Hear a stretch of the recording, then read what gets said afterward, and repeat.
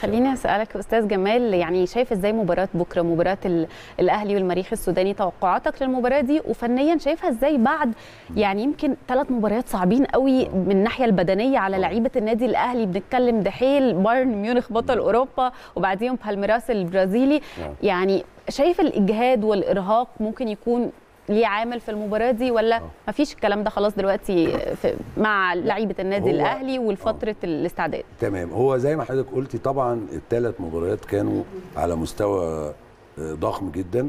حتى مباراة الدحيل اللي هو بدأ بيها النادي الأهلي آه، مشواره في كأس العالم للأندية آه، رغم إن البعض حاول في البداية إن هو يقلل من آه، مستوى أداء الدحيل بالظبط. إنما إحنا شفناهم في الشوط الثاني حاجة تاني خالص آه، وفريق النادي الأهلي بذل مجهود ضخم جدا للحفاظ على الفوز.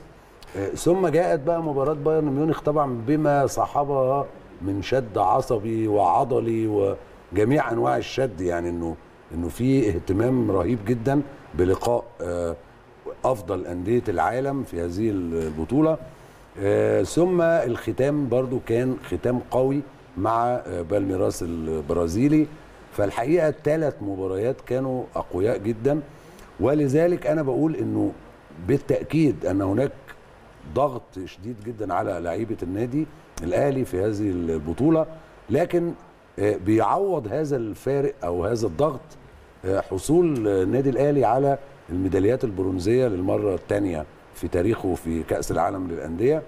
فده أنا بشوف إنه ممكن يعمل معادلة شوية في رفع الروح المعنوية ولكن عادة بعد كل ال- الإنجازات أنا دايما وجهة نظري يا أستاذ سارة إن أنا بقول يجب أن يكون هناك حذر شديد.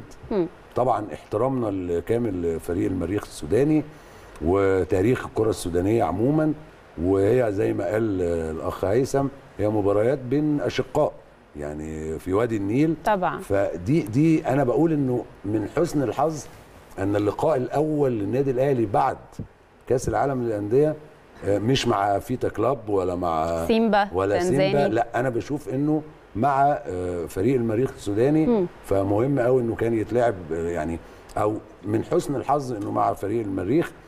إنما أنا بقول النادي الأهلي برضو تعود زي ما حضرتك عارفة إنه بي- بيقفل صفحات. أيوه. يعني ويمكن قلناها من. حسن الحظ برضو مم. السنة دي قلناها كتير قوي مم. يعني بتقفلي ملف الدوري بتدخلي على الكاس بتدخلي على أفريقيا بتدخلي على كاس العالم للأندية آه، آه، بت- بتفتحي آه، صفحة جديدة مم. والنادي الأهلي طول عمره من كتر مشاركاته مم. ال ال سواء المحلية أو الأفريقية والمطالبات الدائمة له بإن هو يفوز بالألقاب متعود على كده فأنا بقول إنه كان أفضل شيء طبعا إنه. بعد البطولة بعد كأس العالم للأندية يبقى في راحة 48 ساعة للفصل الكامل ويمكن زي. برضو ما تابعنا أكيد إنه كابتن محمود الخطيب في آه. لقائه معاهم قال. لهم خلاص افرحوا. بس بعد كده هيبقى في استعداد لبطولة أخرى لا مجال فيها لخساره النقاط أكيد طبعا. مفيش أي مجال لخسارة النقاط النقاط. طبعا مباراة مهمة جدا طبعاً. وكل مباريات دور المجموعات مهم جدا.